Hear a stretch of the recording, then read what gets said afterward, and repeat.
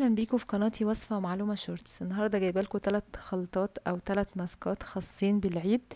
آه، التلاتة هيكون أول واحد منهم خاص لتنظيف البشرة وتوحيد لون البشرة وتنقيتها وترطيبها. التاني هيكون للهالات السوداء وللبشرة برضو للتفتيح والتوحيد وال... وإعطاء النضارة للبشرة.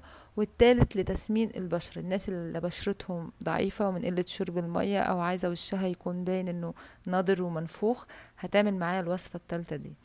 العيد على الأبواب كل سنة وأنتم طيبين فاضل أسبوعين يا دوب تتحضروا وتعملوا الماسكات بتاعتكم. طبعا هيكون في وصفات كمان للشعر ووصفات للجسم. لو أول مرة تشوفي القناة بتاعتي يا ريت تشتركي فيها وتفعلي زر الجرس وتعملي لي like على الفيديو عشان يوصل لأكبر عدد. ال like مهم جدا يا بنات يا ريت تدعموني بيه. آه وتكتبي لي في التعليقات لو أي حاجة انت عايزاني أعملها لك هعملها. عندي وصفات للبشرة وصفات للشعر وكمان وصفات للجسم.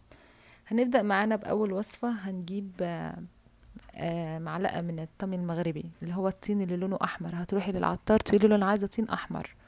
وهتكوني مقطعة بطاطس شرايح زي كده من بالليل. هتسيبيها منقوعة في المية 24 ساعة. وهتجيبي معلقة زبادي. دي مكونات أول ماسك معايا. آه الماسك ده يا بنات هينضف البشرة جدا هيساعد على التفتيح. البطاطس يا بنات حلوة قوي للوش. كمان الطين المغربي ده حلو قوي لجميع أنواع البشرة. يعني أي نوع بشرة هينفع معاها. هتاخدي منه معلقة وهتضيفي عليها معلقة الزبادي وهتجيبي آه المية اللي انتي ناقعة فيها البطاطس 24 ساعة دي وهتحطيهم معاها. مية البطاطس يا بنات حلوة جدا بتقلل برضو من الهالات السوداء وبتساعد على توحيد لون البشرة.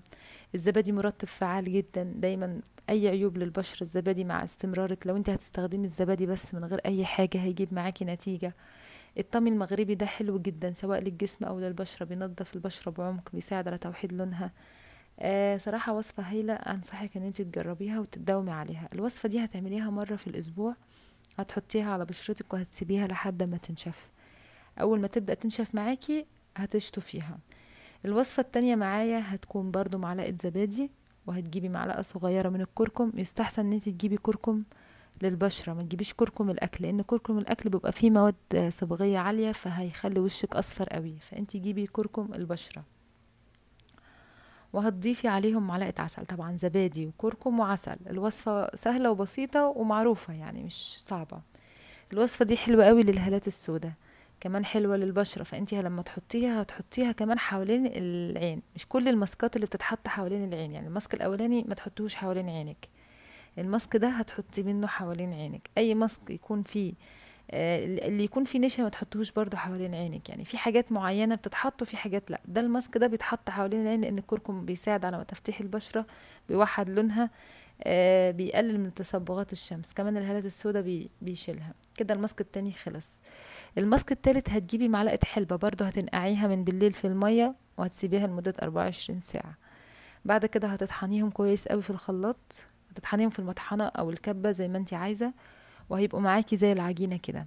بعد كده هتجيبي معلقة آه مية ورد أو معلقة حليب. يعني المتوفر عندك مفيش مشكلة فيه. يعني انت المتاح بالنسبة لك يكون حلو. أنا متاح بالنسبة لي مية ورد هحط مية ورد. بس لو عندك حليب هيكون برضو أحسن النتيجة هتكون أحلى لأن الحليب برضو بيساعد على تفتيح البشرة وبيساعد على توحيد لونها.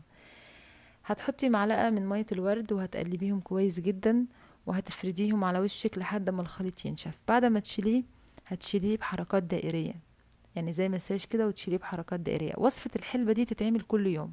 وصفة الكركم تتعمل يوم ويوم إنما وصفة الطمي المغربي تتعمل مرة في الأسبوع مرتين بالكتير. كده معاكي ثلاث خلطات. هنتحضر للعيد سوا. ما تنسيش تدعميني باللايك والاشتراك. والسلام عليكم.